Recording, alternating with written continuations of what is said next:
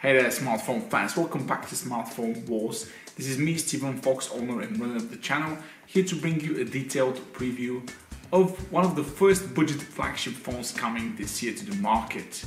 What is a budget flagship phone? Well, a budget flagship phone is a fast phone with great cameras, good battery life, that doesn't break the bank, say mainly between 200 and 300 dollars.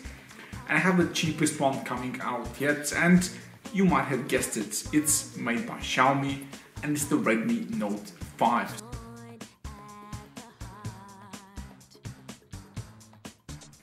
So without further ado, let me start my Xiaomi Redmi Note 5 detailed preview.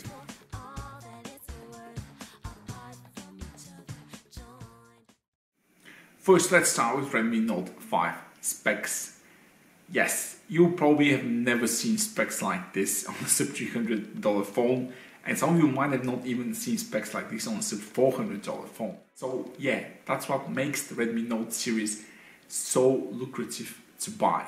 First of all, you get a 5.99 Full HD plus 18 by 9 display. Then you get the Snapdragon 636, which is essentially a slightly cut down Snapdragon 660. So you get uh, last year's $400 phone's performance on a $200 $250 package. Nothing really beats that when it comes to performance per price point. So here just for a quick comparison, the Antutu 7 and Geekbench scores of first Snapdragon 636 on the Redmi Note 5 and the Snapdragon 625 in the Redmi 5 Plus. So the, there you can see a clear, clear difference in performance. So a huge upgrade in performance for those looking that extra 3D and CPU horsepower. So Snapdragon 636 um, will offer a huge upgrade to absolutely be able to play like any game out there, including uh, PUBG for mobiles uh, in very high graphic settings with really good frame rates. And I think this is what you all really wanted: smooth daily driver performance and great gaming on a sub $300 price.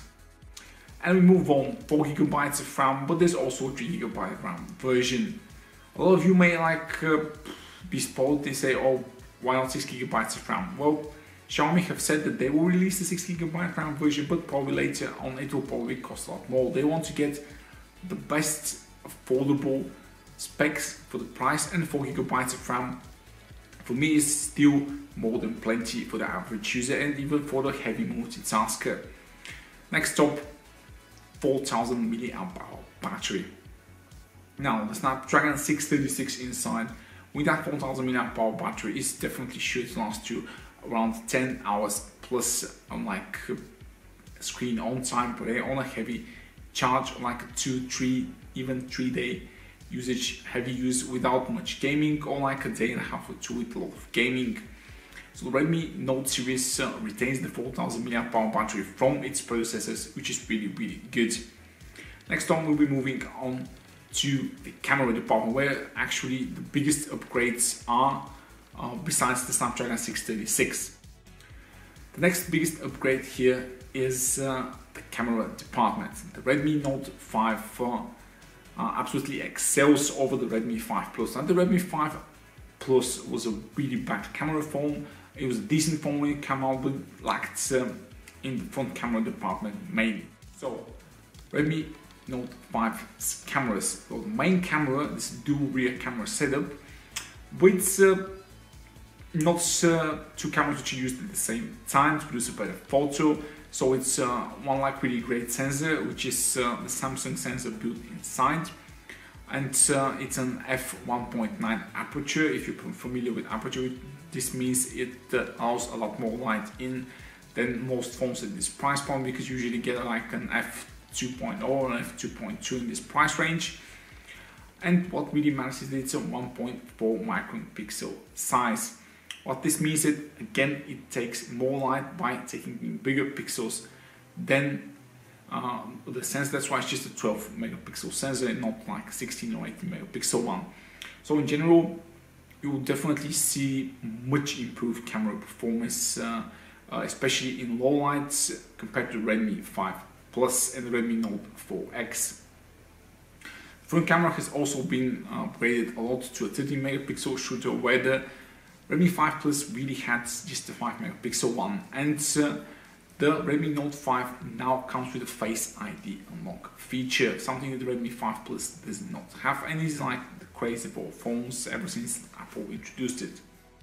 And here's some real shots taken with Redmi Note 5's rear camera so that you can see the vastly improvements in uh, low light performance, in general detail, sharpness and uh, less overexposure, more natural colors. But the portrait mode doesn't really look that great because it's done by software and I think the second camera is definitely not used in here. Here I have a Redmi 5 Plus. Here and it's still a very decently built phone but you can definitely tell that the build quality uh, and I always mention that in my reviews, is that well for the price the build quality is good, uh, but it's not much much improved ever since the original uh, the Redmi Note 4, the Redmi Note 4X. So here are some real shots of the Redmi Note 5 which I took from some of my colleagues from China.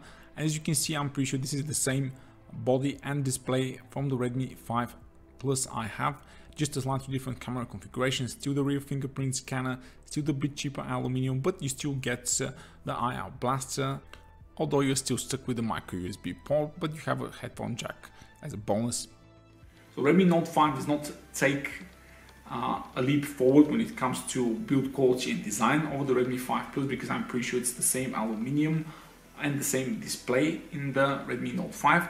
It's not really bad, uh, but um, all of Chinese phones are offering much better build quality and display at this price. I just want to let you know that.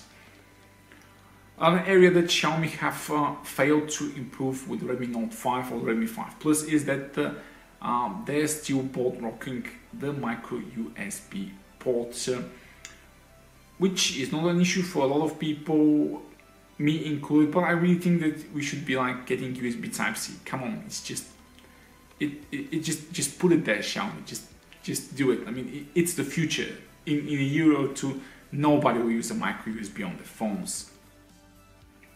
And if a lot of you are like expecting Xiaomi to introduce NFC to Redmi Note series, well, they haven't. So I wasn't really expecting that, but I think some of you are. So yeah, it won't have NFC.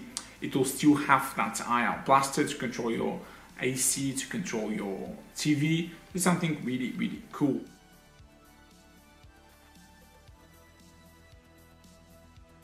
Hey there, it's Steven Fox. Thank you for watching my Redmi Note 5 detailed preview. You can watch my other Xiaomi reviews because I've literally covered every Xiaomi phone out there and do look forward to my full Xiaomi Redmi Note 5 hands-on unboxing and full review coming later.